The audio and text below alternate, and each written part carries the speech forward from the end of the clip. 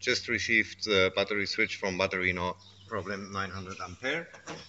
What we need right now is a key 13, a key 10. First of all, we will uh, we will pull off negative with a key 10. This portion is quite easy, as you can see, it's done.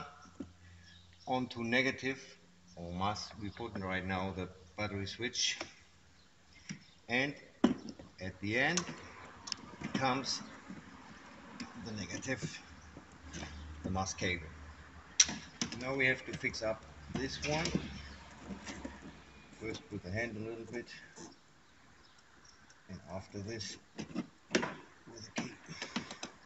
This takes maybe one minute to install the battery switch and we won't got any more problem. Very important to fix it up well so you don't got any trouble with light. Well, situations. Right now, it's disconnected. There is no light in the car. There will there won't be battery losses. To switch on, we have to screw, uh, screw in the blue button. To uh, activate the anti-theft device, we take off this blue button and take it with us.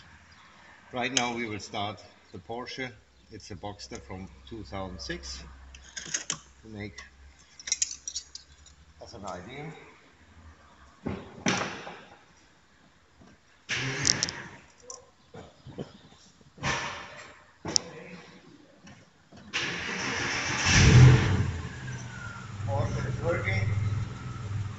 Next situation, we will turn him off and we still hear the radio. Goodbye. In this situation, the Porsche won't lose any more battery. Next time we will uh, come to the car, maybe in one year, in one month, the battery will be full.